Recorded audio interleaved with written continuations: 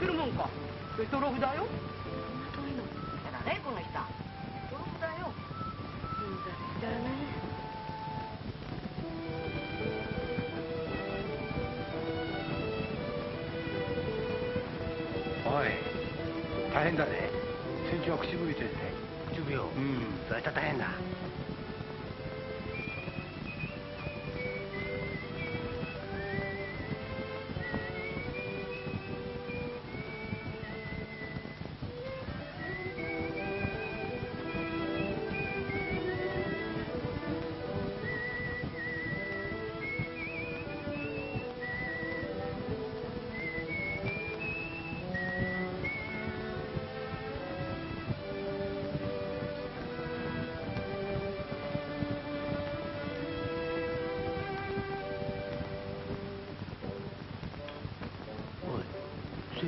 いてるで船長がうん。そいつありがてっ飲めら。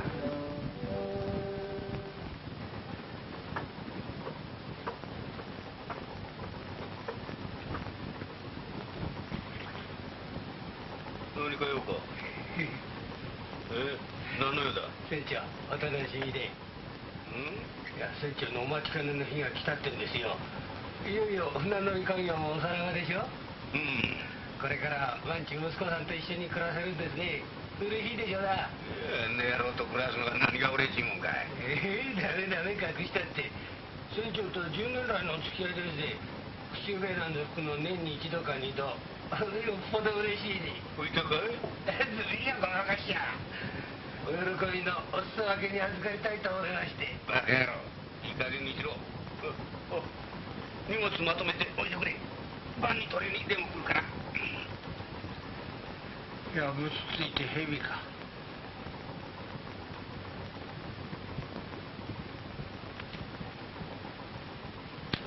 おいこれみんなに分けてやってくれ。すみません。い。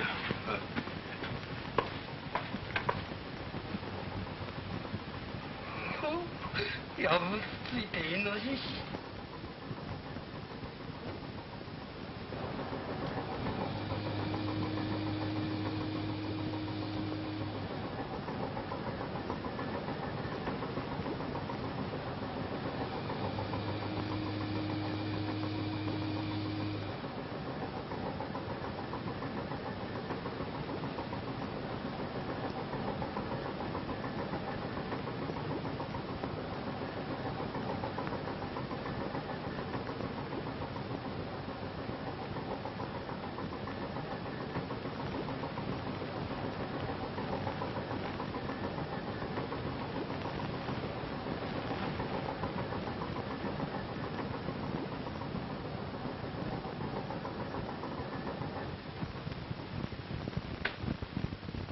どう病人の塩梅は今お医者さんが来てるんだけどね困るねみんな揃っていきたいね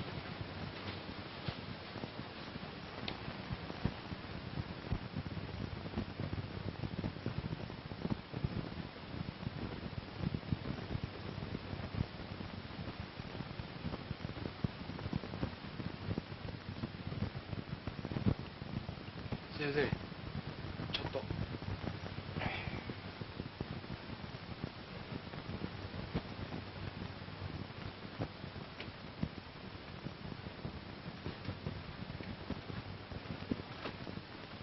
え明日出発なんだがね。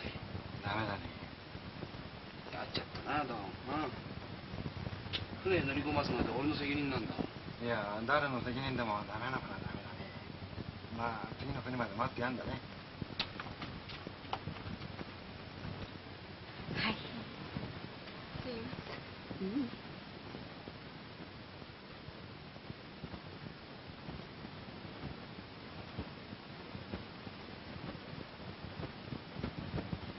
モロコも行くんだってうん大丈夫かいあれもあんまり丈夫な方じゃないよ高度早くから寝るまで大変な労働だってじゃない座席なんてのはねよくよく頑丈なんじゃなきゃダメだよ。いや俺も止めたんだけどね。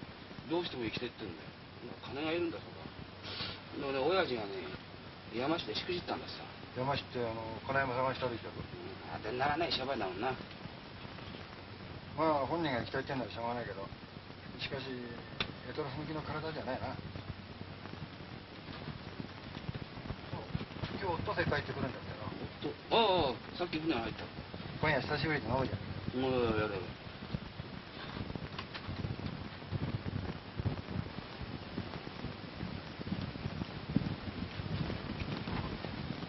ああおかみさんあお帰りなさいま遠く出かけましたか？えまだ2回。じゃあ上がりますよ。どう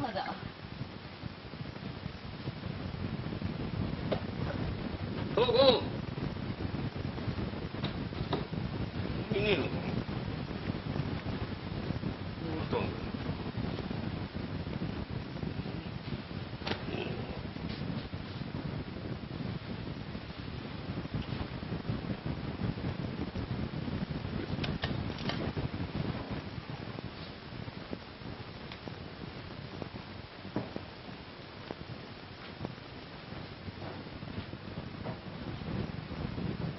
どこああ今帰ってきたぞ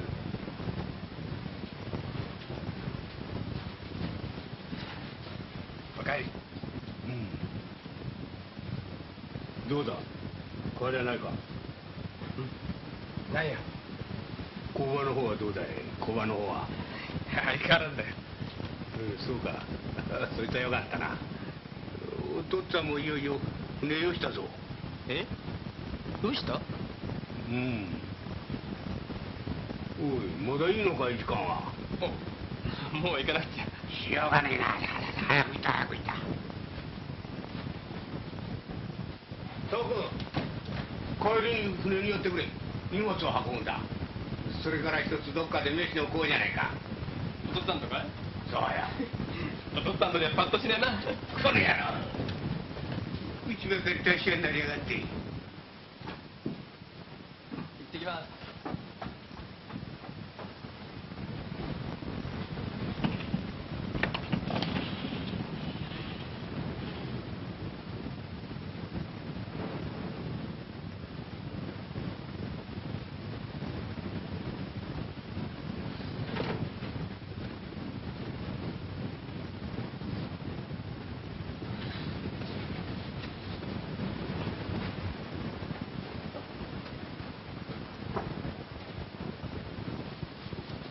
これややつのですかええこの間作ったばっかり。こうこの前金くれなって言いやがってああこんなものを作りやがったのかい。生意気な野郎だ。でも徳さんよく似合いますよ。こんなものが。えそうですかい。おいオットセイいるかい？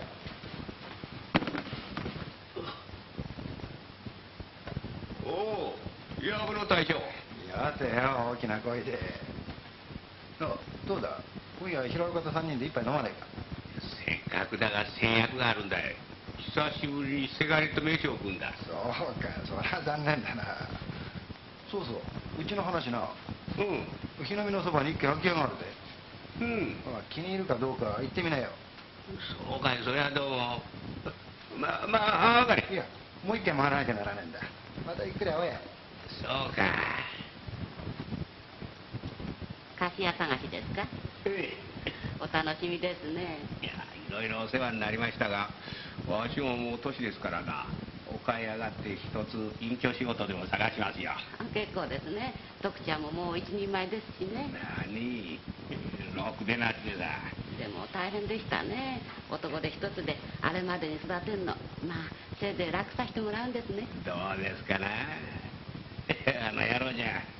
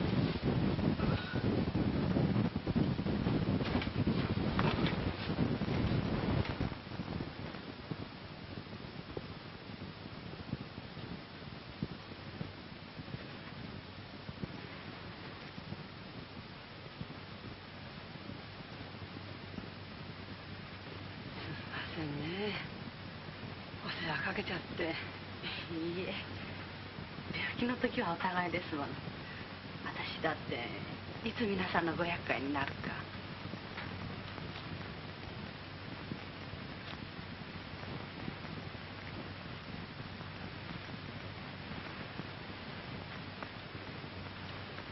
あんたも明日行くんですってでもあんたのことは他の人によく頼んであるわご迷惑ついでにもう一つお願いがあるんだけど何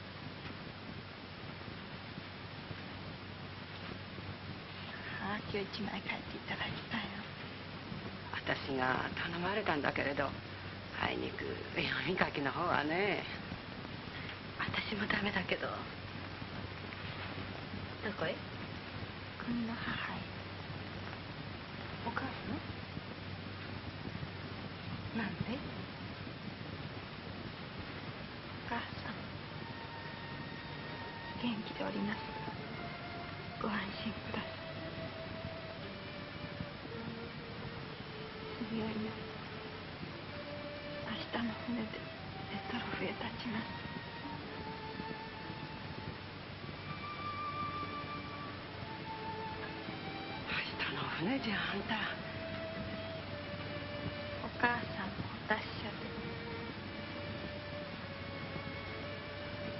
妹や弟たちにもよろしく。心配かけたくないんです私が働かなければ。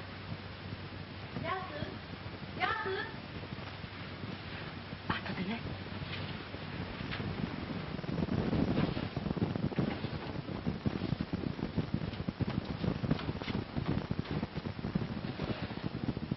何してたんだいちょっとお掃除終わっのかい？今日いっぱいはうちの女中なんだろ？え余計なことしないでさっさとやったらどうだ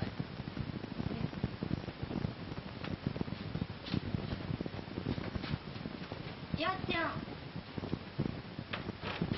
お父っちゃんが来たわよお父っちゃんがなんだ行ってやるよすみません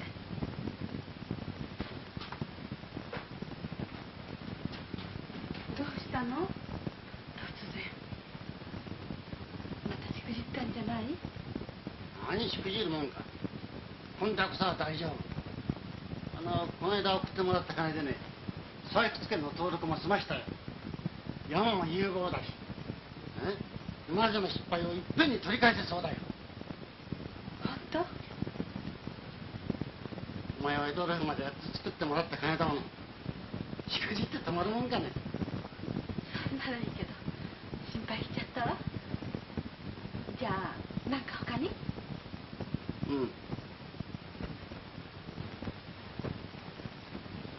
うんもう一度顔を見ておきたいと思ってな嫌だ顔見ておきたいなんて行きっきりになるわけじゃない。そりゃそうだな。あこれ買ってきた。もうは寒いってから。何？あ耳当てね。すいません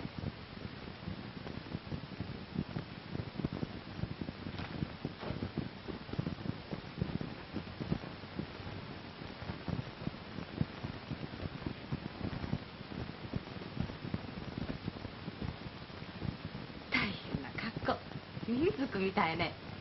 少し大きかったかな。でもとてもあったかよ。どうせ鮭やマスが相手なんだから格好なんかどうでも。大事にするわ。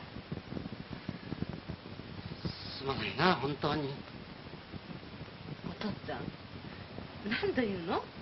親子の間で済むもつまんないもないじゃない。ゆっくりしててもいいんでしょ？おそば言いましょうか。やすやすちょっと待っててね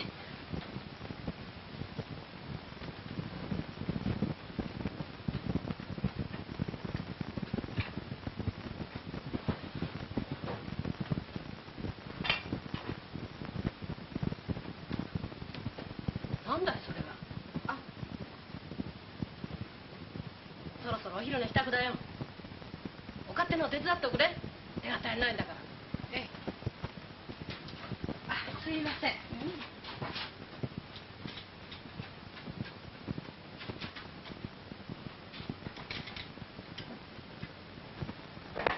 じゃあ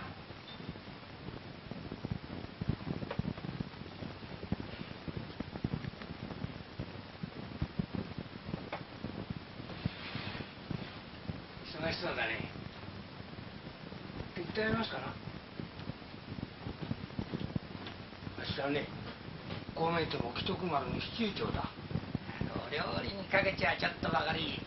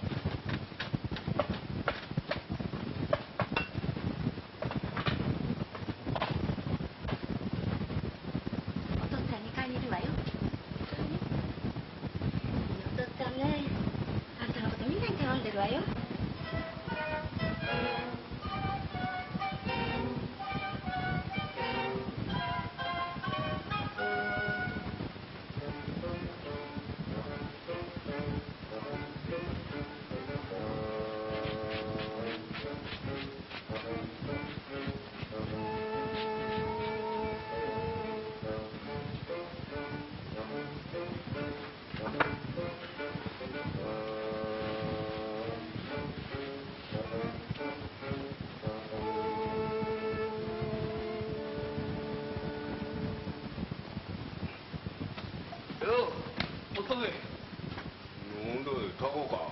なんだご挨拶だな。で誘いに来たんだよ一緒に来い。え？どこへ？どうかっておめえと汁が行ったってしょうがないじゃねえか。いやもう一緒か。うん違うよ。さしてねちょっと話があるんだよ。お断りだ。おめえの話は聞きたくねえな。お前とどんな話だか知らねえだろ。分かっとるよ。俺をエトロフの業界引っ張り出そうって言うんだろ。早い話やな。いやダメだダメだ。俺はもう海の商売からすっかり足を洗っとるんだ。いやその話はまっぴらだ。そうか。じゃあまあいいからさ一緒に一杯飲もうよ。いや今夜はダメだ。俺は床を待っているんだ。なこと言わないで付き合いなよ。いやまあそれは勘弁してくれ。いや。友達がやらないお父さんがなん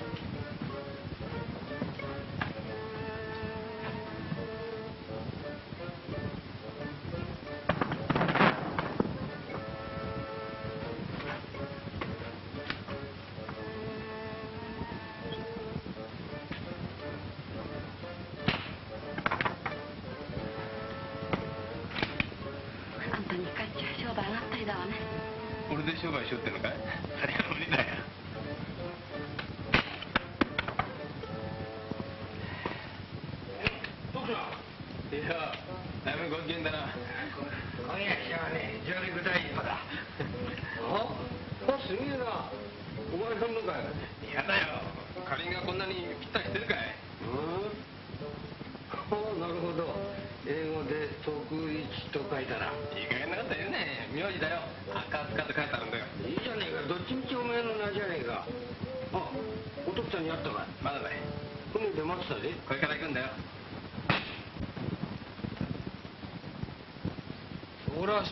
の人間なんだ。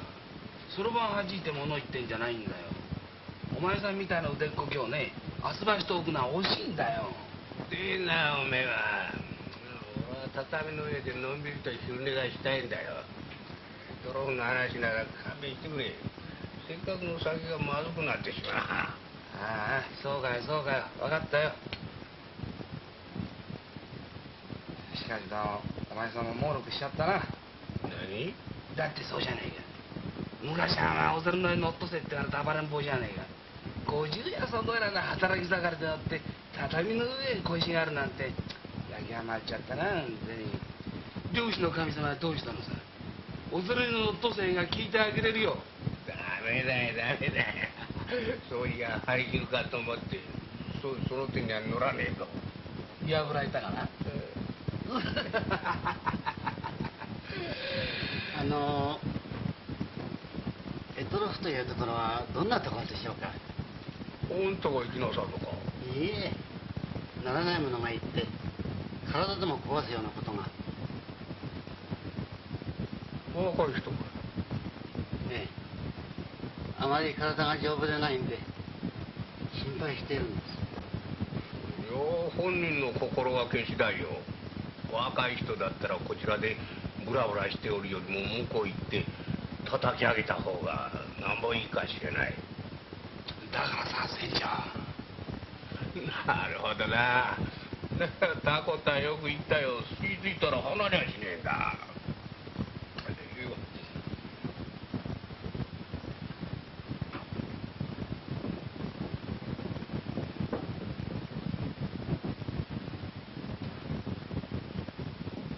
あいつもお姉さんすみませんが紙と鉛筆かなんかを。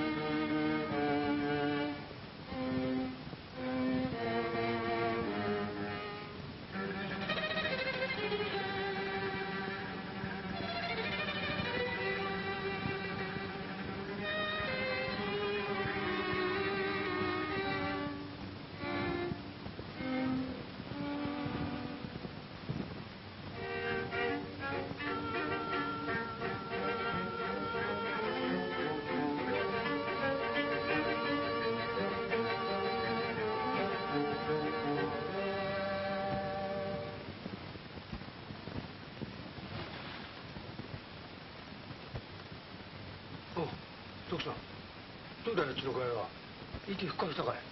藪のおじさんが手当てしてくれたんだけど。ダメか。せっかく冷て思いして助けてやったのに。授業しない人だ。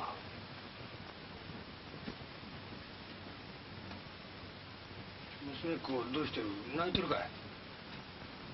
助けてやりたかったよ。今日はいろいろ世話になってるしな。徳さんお前さん案外育児なしだな。どうしてすぐに飛び込まなかったんだ。お前さんが力を貸してくれりゃ助かったかもしれねえぜ。海は怖かったのか。いそれと背広が新しかったからかな。え？バカな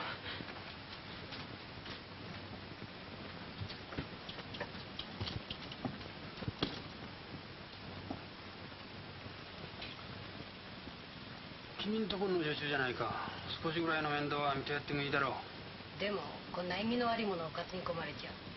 私んとこは客商売ですからね。それにもうちの女中ってわけじゃなししかし露店でお通夜させるわけには。素性の知れない死骸を置く場所があるってじゃありませんか。素性は知れてる。浜田康の父親だ。一晩でいいんだ。文句言わずに面倒を見てやりたまえ何もわざわざここまでしに来なくても。人騒がせにも程があるよ。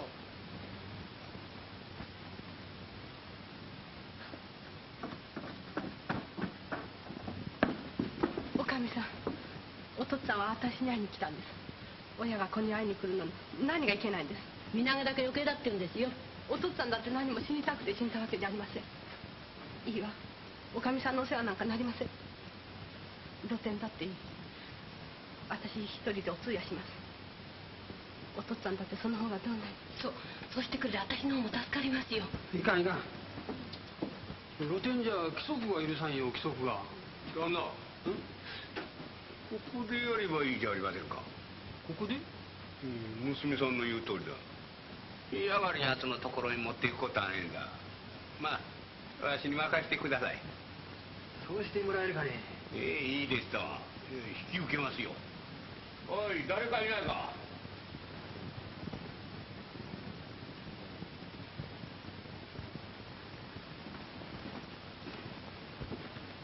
おもうだいたのか？お通夜だ。部屋の方用意してくれ。何をぼんやりしておるんだ？早くしねえかい。用のない人は早く帰った。ね？邪魔だ邪魔だ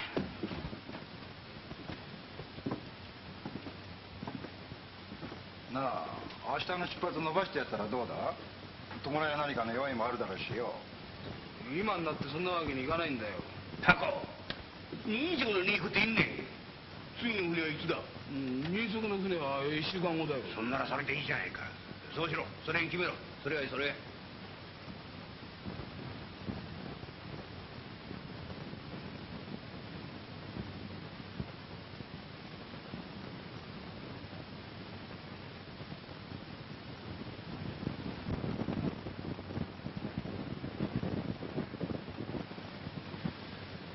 今度の山も失敗してお前さんにはすまないし。なるほど。それで死ぬ気になったんだな。話しかけられた時は変な人だと思ったよ。やっぱり親子だな。最後までお前さんのことを気にしていたんだ何も死ななくても私を置いて死ななくても。他に身内はねえのか？おふくろさんは死んだのかい？おっかさんのことなんか聞かないで。女中になろうとエトロフへ行こうと私にすまないなんてお父っつぁんのためですもん誰が恨むもんですか？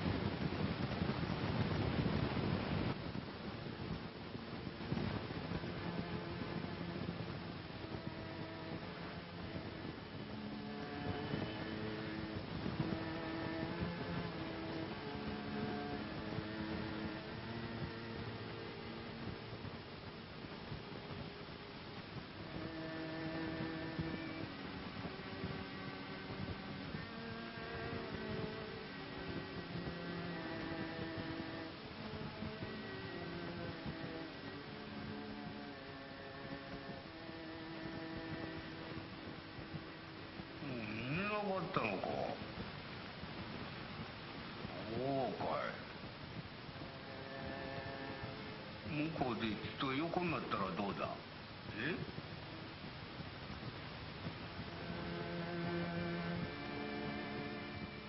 あまりくよくよしなさんな。いいことなんていうものは順番があってやってくるもんじゃねえ。ぽっかり湧いてくるかしれねえもんだ。元気を出すんだな。元気は元気でさえいやきっといいことが待ってる。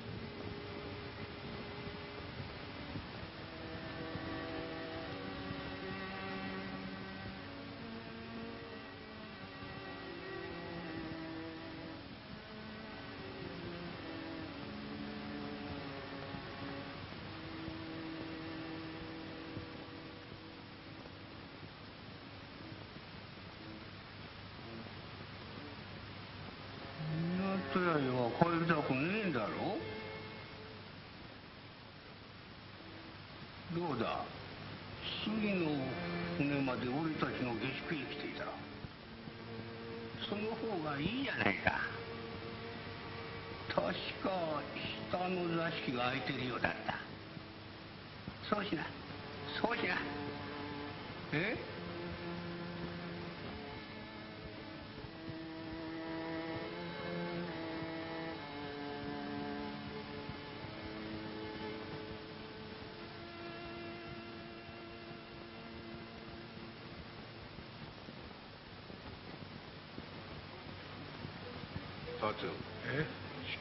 はいくつだ三つですおう三つかいやおめえはいくつだっただから三つで年だよ年なら35辰年ならそう38じゃねえか知ってたら聞かねえでもいいでよ早く身を固めろよ年取って子供がなかったら寂しいぞ相手は子に従うかあ船長こっちです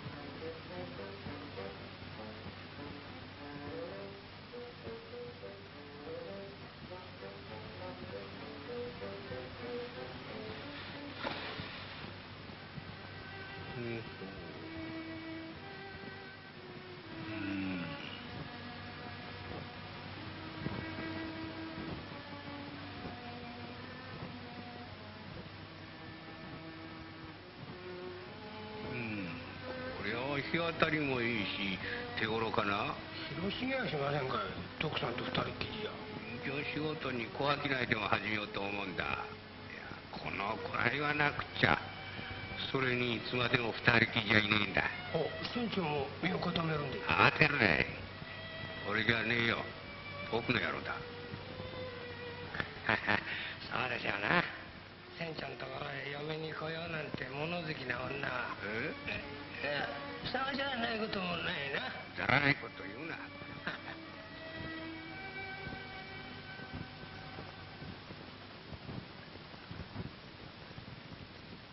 達遠くじゃきっといい嫁が来るぜ。えーそうですかね。ようと国の方だってできるんだしな。それにおめえ工場の方だって。成績はいいんだからな。あそうだ来るなきっと素敵な嫁さんが来ますよ。男っぷりはいいし気立ては優しいしそれから洋服着たとこなんだちょっとこの近所じゃ。おいおい。また小遣いが欲しいのじゃねえのかい。本当のこと言っちゃいけませんよ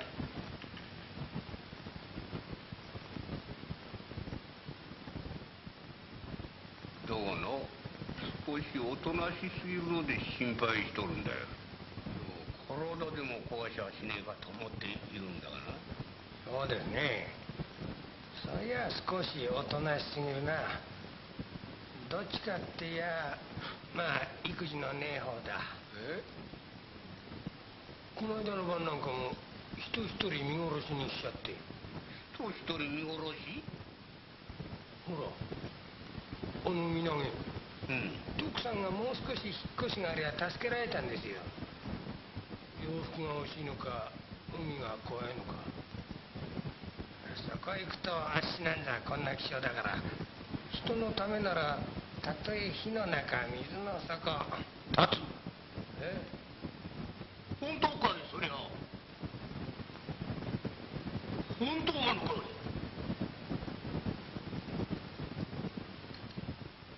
ええどうもすみません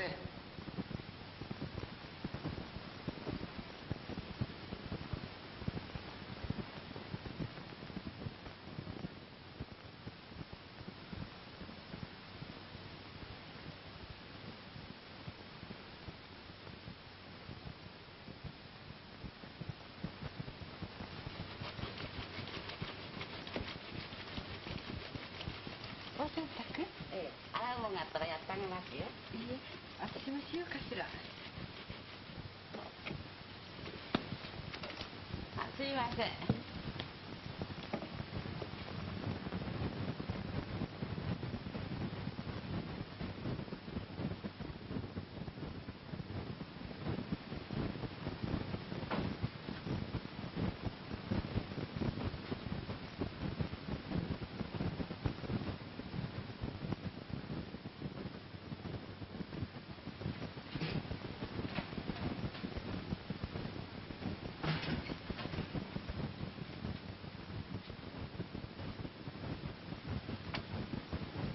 どうするんだ洗おうと思って余計なことしなくてもいいよ。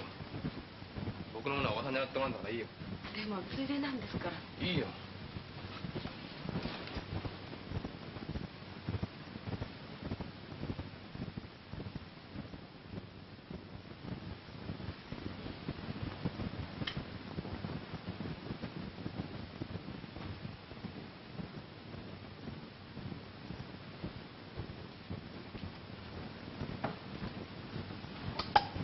嫌なことすんな。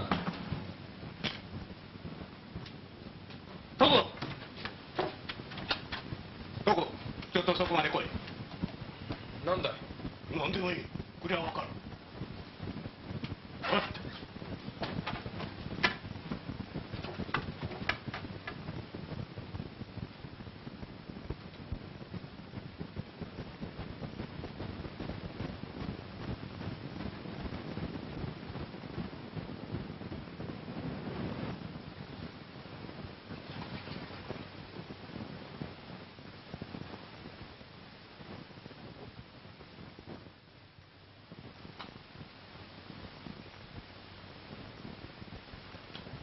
どうしたのえどうかしたの私お世話になってて迷惑なんじゃないかしらどうしてそんなことありませんよもう23日でしょゆっくり体休めていらっしゃいあんた帰ってきたら徳さんのお嫁さんになったらどうよく似合いますよそんなこと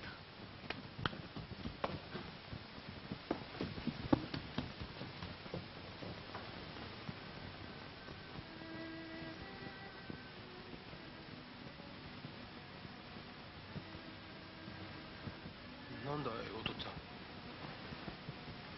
ん。どこ行くんだい？どこおいどこうん？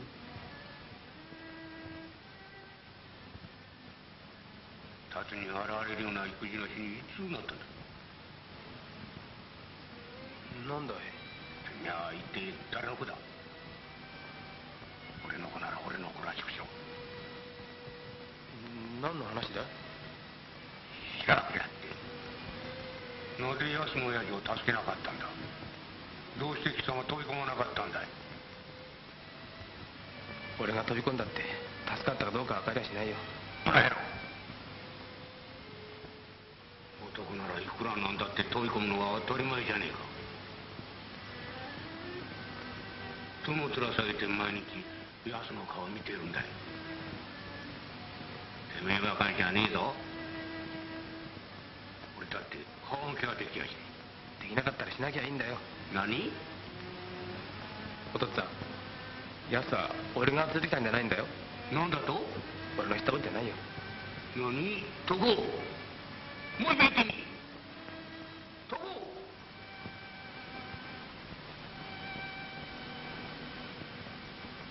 と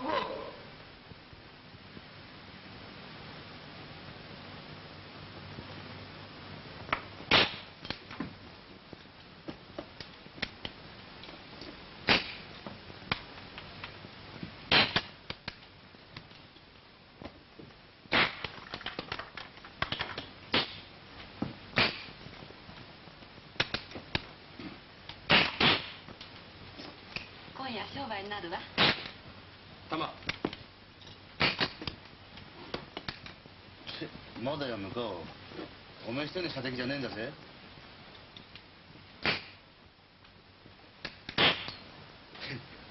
当たらしねえじゃねえかよ。いい加減にしろよ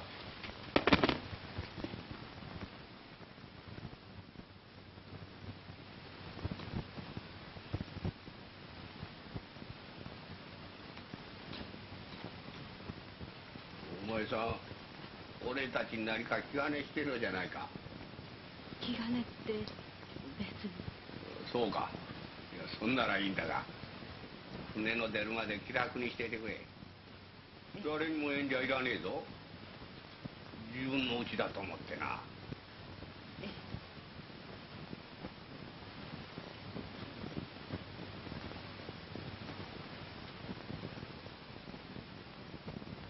どうしたんだお父っつぁんのこと思い出したか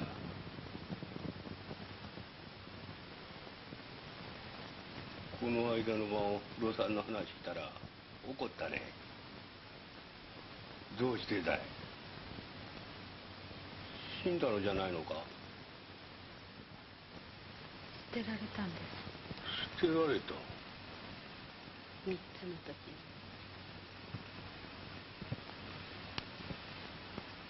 風の強い晩だったそうです。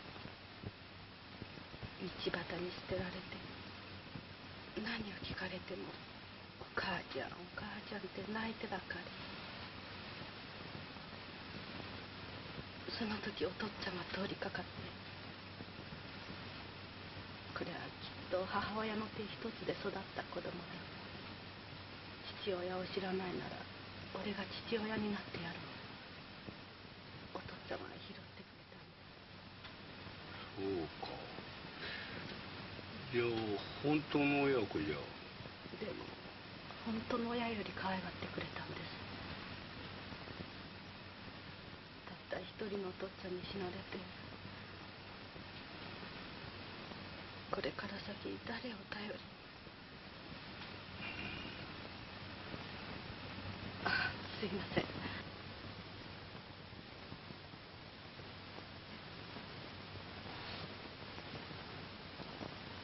あもう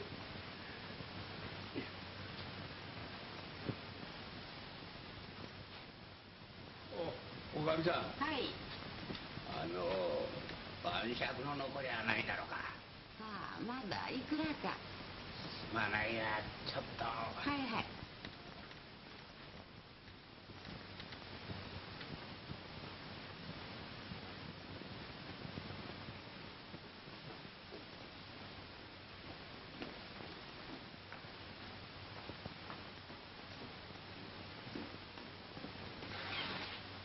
おう徳さん何してんだよこんなとこで早く帰らないと購買行くの遅れるぜ店長も心配してたで。親父来てんのか？うん今行ってきたんだ。悪かったな。俺は余計なこと言ったんで。勘弁してくれや別に悪気があって言ったわけじゃねえんだ。ついうっかり弾みでね物の弾みってやんだ。うるせえな。少し黙ってろよえー気がなくて早く帰ってくんねえか。港屋のお成功を心配してるで。なあ徳さん。うるせえな。おい徳さん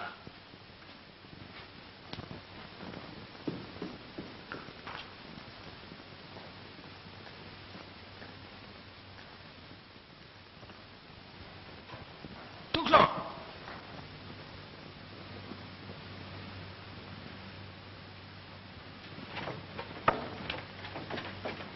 お客さんや誰かしら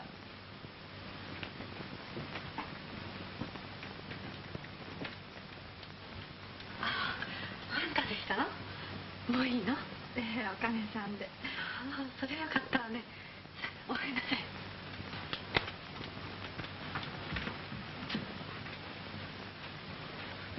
お別れに来たの？船は来たでしょ？あんたは？行かないの？国へ帰ることになったの。え？国へ？ええ。仕方がないわ私の体じゃ。でも困るんじゃないの？うん大丈夫。なんとかなるわ。国へ帰って結婚でもするわ。結婚？お嫁に行って幸せになるの。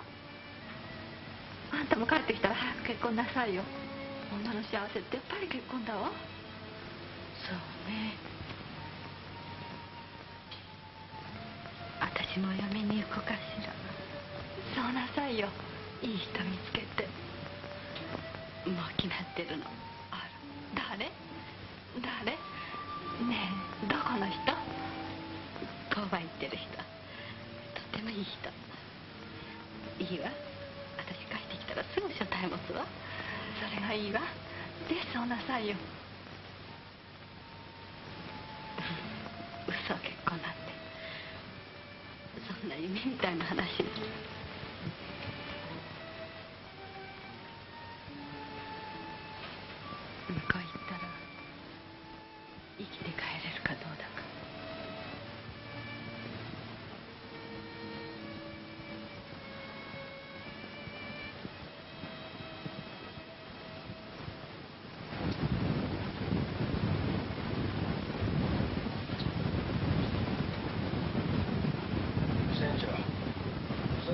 ろそろおみこしあげようじゃありませんか。前だってもうだいぶ入ってますね。あのそんなにくよくよしなくったってタコが海に入らねえとか飛び込まねえとかで。うるせえ俺が俺の世話にこうこう言うのに何の文句があるんだ。もう別に文句なんか。なかったら黙っていろよ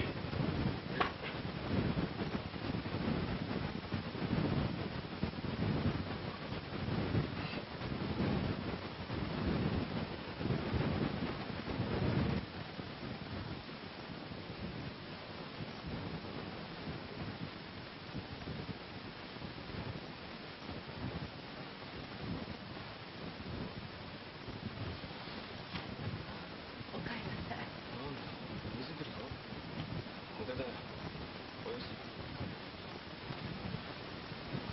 さっき平尾さんに会ったら返してくれって頼まれたこれ私の契約書君はもう行かなくていいんだよ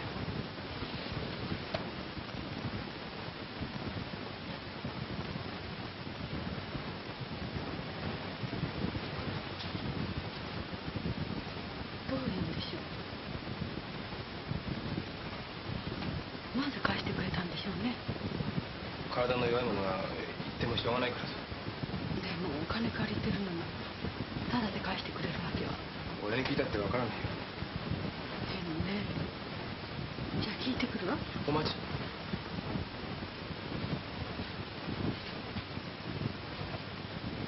俺が行くんだ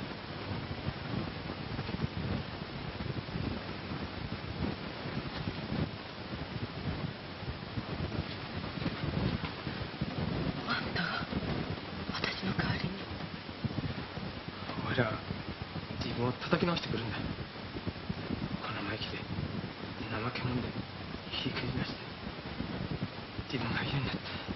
愛想なってきたんだ。いけないわそんなこと。いいんだよ君のためにはどんなことしてもいいんだよ君のお父っつぁん俺らあの時現場にいたんだよ。俺が飛び込みが助かったかもしれない。申し訳ないと思ってる違うわお父っつぁんは初めから死に来ていたんです。あんたのせいじゃ。船長さんあんたと一緒に暮らすのあんなに楽しみにしてるんですもんあんたがいなくなったらどんなにがっかりなさるか。親父は元気だ。一緒に暮らすのは帰ってきてからでもいいいけないわ私こんなにお世話になってるんです私のためにそんなそんなに。しかし君はそんな体で働けると思っているのか？あ私は一人ぼっちの身ですもんどこでどうなろうとバカそれでよかったら初めから心配なんかしたりしないどうないことは聞くもんだ黙黙ってうちにいりゃいいんだそれから帰ってくるまで親父の面倒を頼みたいんだ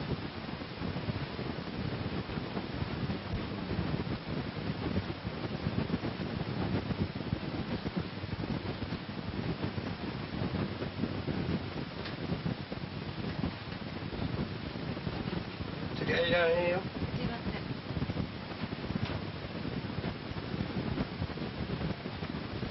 せん船長看板ですよ。船長。あおかえりおかえり。船長。船長。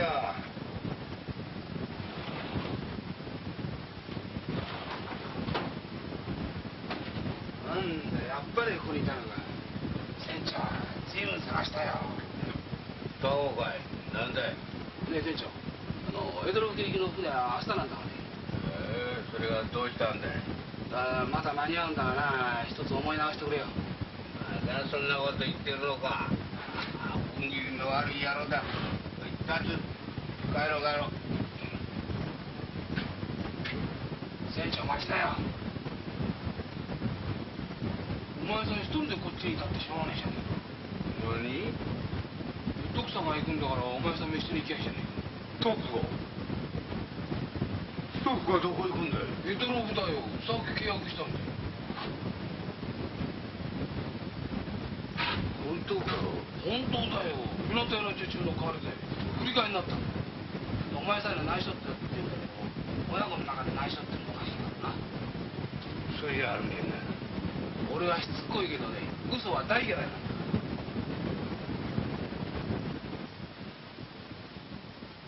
私にあんたには無理だと思ってましたよ徳さんそんな課題決心なら買ってもらったらどうでもそんなにまでしてそうなさいよそうすりゃ徳さんも気が済むでしょうしさあんたもその方がいいじゃありませんかおかえりなさい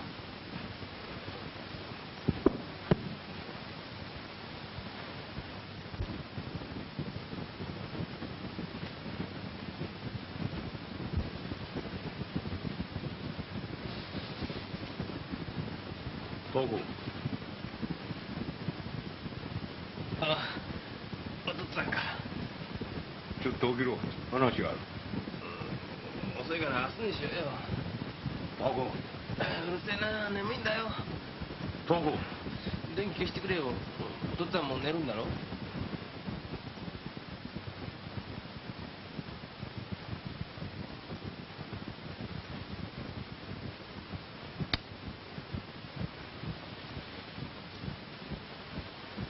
お父っつぁんあんまり深酒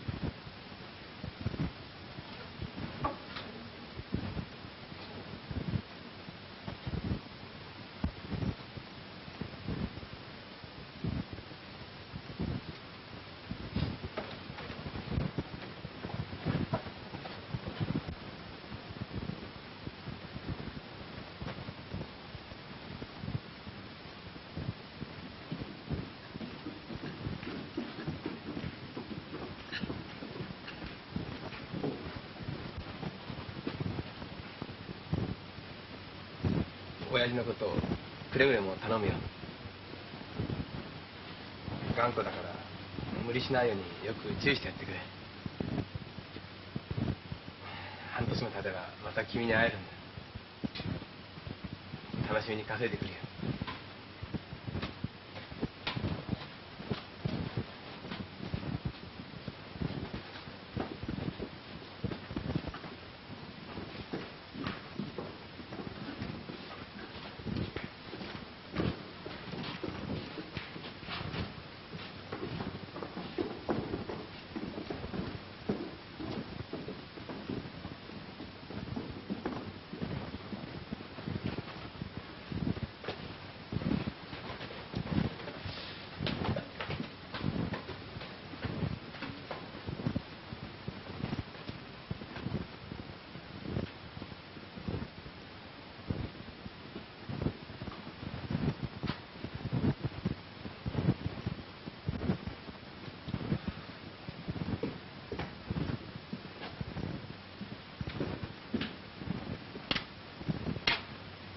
徳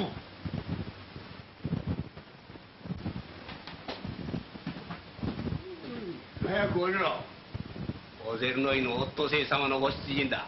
今特にあって話をつけてきた。お前は降りてもいい。とっつぁん。いい加減にしなよ。そんな年して。何？俺が猛録したとでもいいのかい。冗談言うね。漁師の神様だぞ。いくら年取ったってまだおめえなどに負けるものか早く言った言った俺ら来てんだ。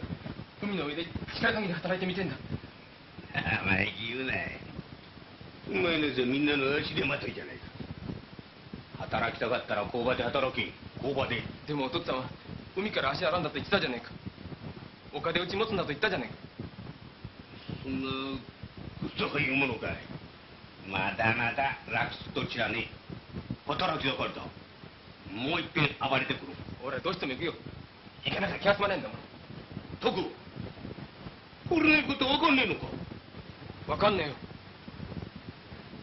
俺は今まで随分わがまました。これが最後のわがままだ。思い通りにさせてくれ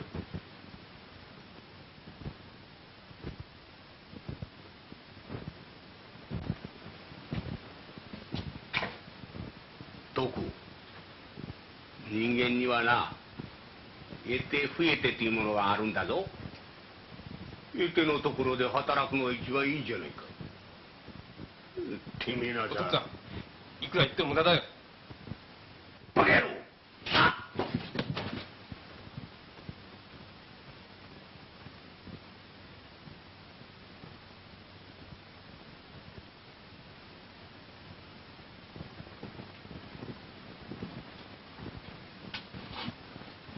徳おめえが怖いから言ってるんだ。俺はおめえの決心を聞いただけでたくさんなんだ。いやそう心配しなくたっていいんだ。おめえは夜べのねみだ死んだ親父に代わってこれから俺がお父っつぁんになってやろうと思うがどうだ？嫌かおじさん。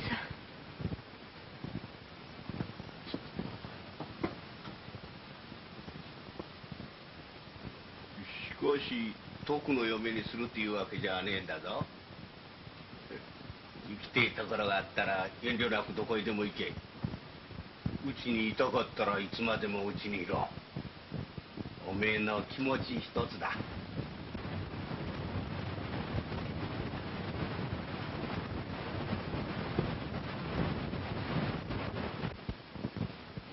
徳おめえもしっかり働いて本当の一人前の男になせろ。俺も頑張っていい土産を持ってくる。お父っつぁん。バカ。変な声出すな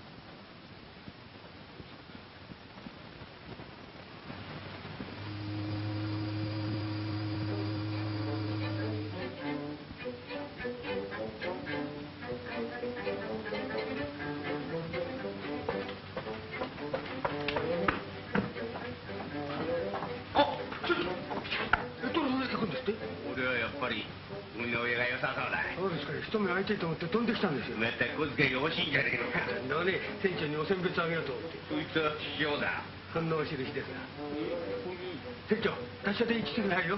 ここれや